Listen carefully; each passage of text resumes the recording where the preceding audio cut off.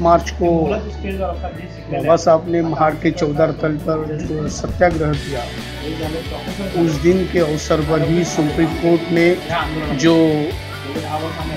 Dalit S C S T Dalit Adivasi के खिलाफ जो ऑर्डर आया सुप्रीम कोर्ट ने जो ऑर्डर किया इस बारे में पूरे देश में अलग अलग संगठन उसका निषेध कर रहे हैं। आदि धर्म समाज ये संगठन की वजह से, ये संगठन की तरफ़ से या इस जगह अलग अलग संगठन मिलकर जो भारत बंद का आह्वान किया है, उस आह्वान को बहुत बड़े पैमाने पर समर्थन मिल रहा है। मैं जनता का आईना की तरफ़ से मैं आपको भी विनती करता हूँ कि आप इस आंदोलन में सहभाग कीजिए। कल 2 अप्रैल को सुप्रीम कोर्ट का जो ऑर्डर आया एट्रोसिटी के बारे में, इस बारे में जो भारत बंद का आह्वान किया है, आदि धर्म समाज के महाराष्ट्र के प्रमुख अपने यहाँ पर सुभाष जी है, इनसे हम बात कर रहे हैं।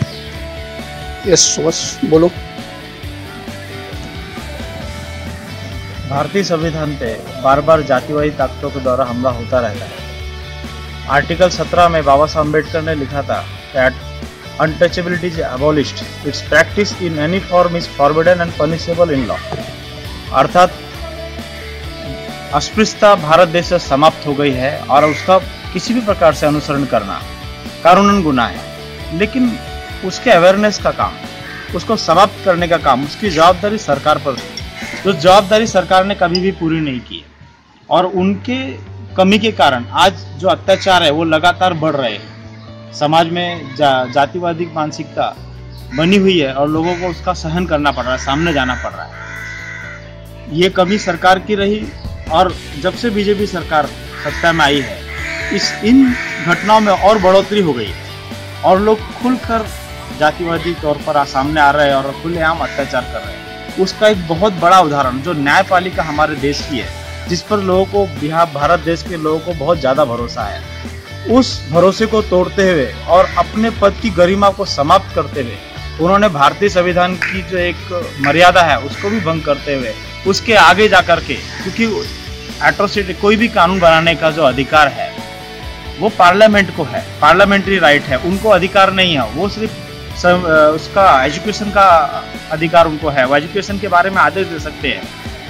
लेकिन उसके बारे में इसमें बदलाव किए जाएँ ऐसा आदेश देने का उनको कोई अधिकार नहीं है। लेकिन उन्होंने उसका भी उल्लंघन करते हुए उन्होंने जो 20 मार्च को जो आदेश दिया कि एट्रोसिटी एक्ट में बदलाव हो और किसी भी केस से पहले इंक्वायरी हो ये ऐसा असमंजस वाला आदेश देने के बाद में लोगों में भय का वातावरण लोगों में सुरक्षितता जो लोग महसूस कर रहे थे एट्रोसिटी एक्ट की वजह से जो अनुसूचित के लोग अपने आप को सुरक्षित समझ रहे थे, वो आज कहीं ना कहीं खत्म होते नज़र आ रहा असंतोष और रोष लोगों के मन में व्याप्त तो उसको ज़ाहिर करने के लिए, आंशिक रूप से हम लोग दो तारीख को भारत बंद का आह्वान हमारे आदि धर्म समाज के मुख्य संचालक माननीय शुक्राचार्य दर्शनतर रावण जी के आह्वान पर भारत बंद का आयोजन किया गया है और उसी को आगे बढ़ाते हुए महाराष्ट्र में भी हम आंदोलन करने जा रहे हैं। इसकी शुरुआत हम कल से कर रहे हैं हम आंदोलन की हम कह रहे हैं कि हम कल हमारा आंदोलन होगा, ये खत्म नहीं होगा। ये हमारी पहला पड़ाव है। और हमारी अगर माओ को नहीं माना जाता है तो ये बड़ा विकराल रूप भारत में लेगा और सरकार को इसका सामना करना पड़ेगा। हमारे गुस्से को उनको झेलना पड़ेगा। हमारे, हम गुस्सा मतलब हम कोई विरोध नहीं कर रहे। हम किसी चीज़ के खिलाफ नहीं जा रहे। हम अपने मांगों को रख रहे हम अपने अधिकारों की बात कर रहे हैं। जो अधिकार हमें भारतीय संविधान में दिए जो हमें राइट्स और प्रिविलेज भारतीय संविधान से मिलते हैं आर्टिकल 13 से मिलते हैं 14 से मिलते हैं 21 से मिलते हैं आर्टिकल 37 39 से मिलते हैं। जो ये कहता है कि अगर कोई प्रोविज़न नहीं है तो प्रोविज़न बना के इनका डेवलपमेंट का योजना सरकार बनाए। लेकिन कभी भी उन मानसिक तत्वों का कोई सरकार पालन नहीं कर रही। और ये इसमें सरकार का संशयास्पद हाथ मुझे नज़र आता है, जिसके लिए सरकार को हमें जगाना बहुत ज़रूरी है और उसका पहला कदम हम कल उठा रहे हैं। मैं रविंद्र अटवाल ये जो एट्रोसिटी एक्ट पे जो कानून में बदलाव किया गया है, इसको हम कतई बर्दाश्त नहीं करेंगे। और दो, ये दो अप्रैल को हम भारत बंद का आह्वान करते हैं। इसके लिए मैं लोगों से गुजारिश करता हूँ अपने समाज में कि हमारे साथ दिया जाए इसके।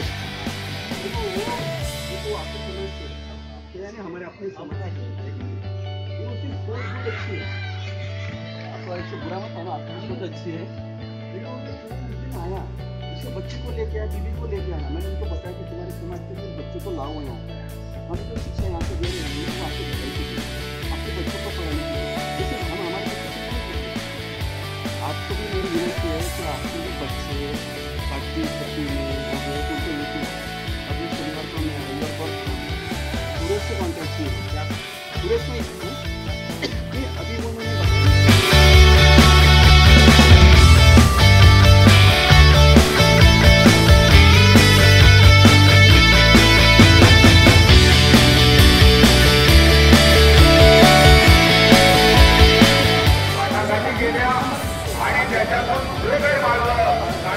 चैनल देखते रहने के लिए सब्सक्राइब बटन को दबाइए और उसके बाद घंटी को दबाइए और ये वीडियो देखते रहिए।